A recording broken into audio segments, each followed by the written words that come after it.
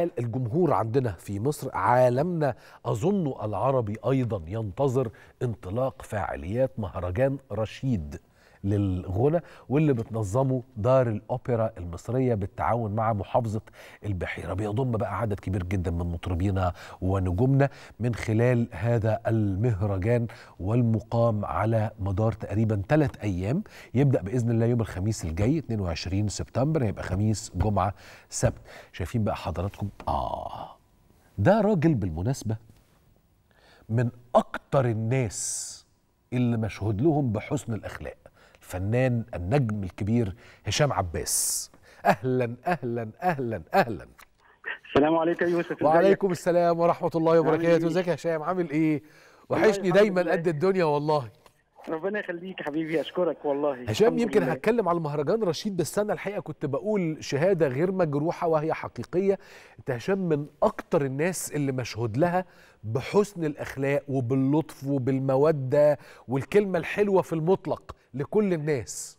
يا فندم ده كرم كبير من ربنا والله. ربنا يخليك. يا أشكرك. رب يحفظك يا والله رب. يعني ده هو ده كل ده يعني الحمد لله يعني بجد بجد برضا ربنا وكل ده يعني بالأهل وال وال وال وال وال والعيشة اللي الواحد كان عايشها قبل كده بس الحمد لله لا بس أنا عايز أقول لك حاجة في. ال- عشان أنا كنت بسمع في وأنت بت- بتتكلم أنا كنت بسمع مع الناس ال- اللي بيتفرجوا عليك دلوقتي هو الفن آه، بيرتقي مش بس بال- بالأعمال الفنية. الفن بيرتقي بالمتلقي نفسه اللي بي اللي, بي صح. اللي بيسمع الأعمال.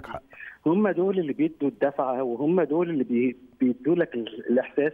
أنت عايز تعمل إيه جديد؟ وعايز ترتقي بنفسك إزاي؟ وعايز لما لما بيبقى المتلقي مش فارق معاه ولما بيبقى المتلقي بيبقى عاجبه أي حاجة بتحصل وأي حاجة عشوائية وأي حاجة.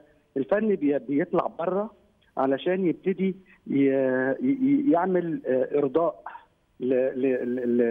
لغرائز وإرضاء لاذواق مختلفة آه، فلازم تطلع بره ال- الأسلوب اللي أنت بتعود عليه وتطلع بره ال- الطرق وال- والتقاليد والقوانين بتاعة الكتابة والمزيكا وكل حاجة بيطلع الموضوع بيبقى بي بي بيروح في حتت على يعني ممكن يروح حتت عشوائية ممكن يروح حتت في حتت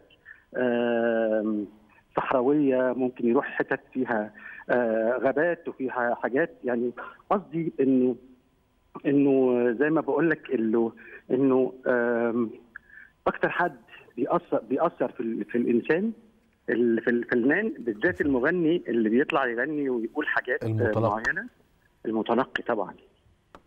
فاللي بيحصل دلوقتي إنه في بي- بي- بيحصل تغييرات. و... ونقط فارقة ومحطات مختلفة. بتخلي الواحد يقعد يبص كده من بعيد يعني هو طب وأنا فين في الناس دول وأنا فين في الحتة دي؟ وأنا هل أعمل اللي بيرضي الناس ولا هعمل اللي بيرضيني اللي أنا كنت بعمله قبل كده؟ و... و... وماليش دعوة بالناس. انت بتفضل إيه بتقعد هشام بتقعد فترة كده لغاية ما تبتدي تعمل آه، لنفسك اورينتيشن من أول مم. جديد اللي هو تتعرف على السوق اللي انت بتشتغل فيه ده وتقعد تقول لا أنا بقى هفضل في الحتة دي أو أنا هختار الحتة دي أو أنا هفضل هنا مكمل مع نفسي ويحصل. بقى اللي يحصل هنعمل إيه وإحنا وإحنا بنشتغل وربنا بقى معانا في النهاية لأنه ربنا معاك في كل حاجة ربنا معانا دايما و- وفي كل الحاجات دي بالنسبة بقى للمهرجان مهرجان العظيم. اللي, آه. اللي بتعمله الأوبرا اليومين دول أو السنين الكام سنة اللي موجودين فيهم اللي إحنا بدأنا في في في ال- في المحافظات وفي الأماكن الجديدة بصراحة أنا مبسوط جدا جدا بال- بالمهرجانات اللي بتتعمل في في في المحافظات المصرية عملنا حفلات حلوة في أبيدوس الله. في سوهاج عملنا حفلات حلوة في قنا عملنا حفلات آه، عندنا حفلة في رشيد آه، وهيبقى في حفلات تانية في محافظات تانية. ده حاجة بجد آه، حاجة أنا ببقى سعيد جدا جدا لما بروح مهرجان مثلا زي القلعة بيت المحكة.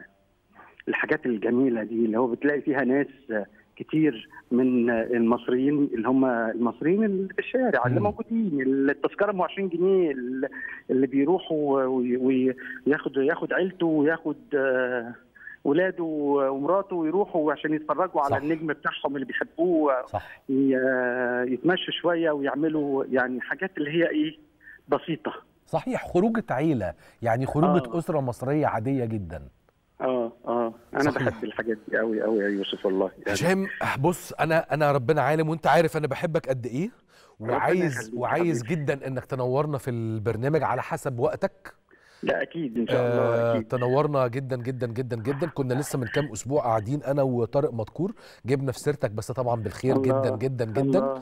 ف... آه. ف... فلازم هنتقابل ونقعد بقى كده وندردش. في البرنامج ده عندنا حكايات كتير عايزين نقعد نتكلم فيها مش بس أكيد. غنى يعني مع إن الدنيا لسه مليانة غنى يا هشام أشكرك ألف ألف ألف شكر ليك